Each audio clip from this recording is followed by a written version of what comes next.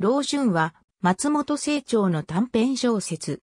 新潮1961年11月号に掲載され、1963年4月に松本清張短編総集収録の一作として講談社より刊行された。1990年にテレビドラマ化されている。大田重吉は裏の離れに住んでいた。重吉は若い時には幾人もの女を外に作っていたが、78歳の今は自堕落に1日中万年床の中でゴロゴロしており、雑貨商を営む息子夫婦の映像、久子からも孤立しがちになっていた。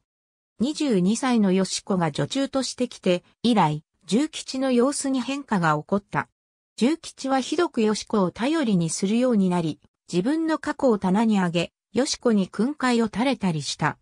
しかし、よし子が近所のアパートに住む婚姻の男と仲良くなると、重吉は大きな声でその婚姻を罵り始めた。やがてよし子が婚姻と同棲して暇を取ると、重吉は嫉妬からアパートに押しかけ、あらゆる言葉を使ってよし子と婚姻の男を罵倒しわめくのだった。次に、春子という新しい女中が来た。春子は不器量で映像夫婦もよし子の時のようにはなるまいと思っていた。が、春子がよし子と親しくなっていたのを発見した重吉は、血相を変えて再び大騒ぎを始めた。春子を自分の女と思い込んでいる重吉は、悪い男のもとに行かないよう春子に、いたけ高に命令するのだった。ある時、映像の取引先の客が家に泊まることになった。すると重吉は、春子がその客とくっついていないか、夜中に懐中電灯を照らして、覗き回った。その客は退散した。春子は荷物をまとめて出て行った。たまりかねた映像が重吉に、そんな年をして、若い女に焼き餅を焼くのは、みっともない、と言うと、重吉は火のついたように怒り出した。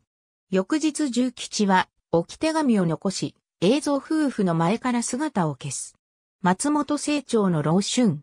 1990年9月27日、読売テレビ制作、日本テレビ系列の木曜ゴールデンドラマ枠にて放映。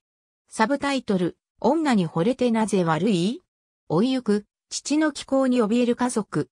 他、ありがとうございます。